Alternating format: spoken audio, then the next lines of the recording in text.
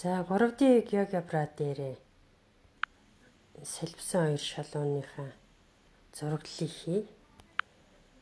За интернет дээр хадгалсан байгаа сэлбсэн lines locus гэсэн файлаа нэгээд за энд байгаа AR гэсэн тохиргоон дээр бодит өргөтгөл гэсэн өргөтгөл рүүгээ шилжээ. За координатыг тэнхлэгээ сонголоо. За бидний байгуулт маань энд харагдаж байна. За. За солбсон хоёр шулуун маань улаан. За улаан маань бол энэ саарал хавтгаа нааталт харагдаж байна. А цааталт нь бол цэнхэр шулуун маань энд харагдаж байна.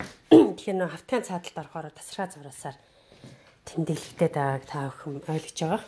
За одоо яг энэ хавтгаагаа хажуу талаас нь ингээд харахад солбсон хоёр шулуун маань ингээд хоёр талд харагдаж байна. За солбоод байгаа ихц одоо дээрээс нь гэж хэлэх юм харахад бол солбсон хоёр шулан маань иймэрхүү байдалтай. За тэр голд бол бисектрис ногоон шулан маань байна. За бисектрис шулуунууд маань бол ерөнхийдөө хоёр бисектрис шулуун хэвээр. За цаад цэнхэр шулуун маань бүдэг харагдаад байгаа учраас энэ саарал автгаага төр зур нуучи. За нуухын тулд манай саарал автгаа байгуултаасаа хөөж болоод шүтлэр автраа гэдэг энэ үеч. За одоо ингээр хоёр шулуун маань хоёулаа сайхан тод байна. За энэ дээр нэмгээд бистрис нөгөө шар автраа шулууныг бас харуулчихъя.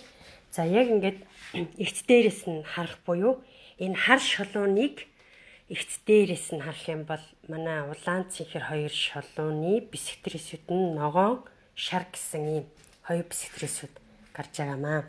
За одоо жишээ болгоод ногоон бисектрис дээр авч үзэж байгаа дурын цэгээс дурын цэгээс а өгсөн улаан цэнхэр хоёр шолон хүртлэх зайнууд бол тэнцүү гэсэн өгдөл байгаа. За энд байгаа дурын цэгээ хөдөл за хөдөлгөөд үзье. За хөдөлгөөр иймэрхүү арай жоохон хол болгож байгаад яг гол тэмдэглээнүүд маань ойрхон болчоод эвгүй харагдаад л баг шиг байна.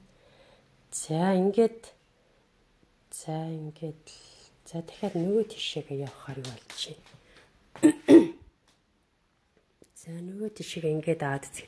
За энэ дурын цэг дээр очиод харъя. За дурын цэг дээр байгаа энэ цэгээсээ за чинэгтэйхэн байрлахгүй бол за энэ цэнхэр шулуун хүртлэх зэ бол энэ тишинцэд гурвалж байна. Ийм гурвалж байна. Харагдаж байна. Ийм гурвалж байна. А харин нөгөө улаан шулуун хүрх тишинцэд гурвалж маань ийм гурвалж байна. Энэ хоёр тишинцэд гурвалж маань ер нь бол яг тэнцүү хоёр гурвалж байна. болоод байгаа.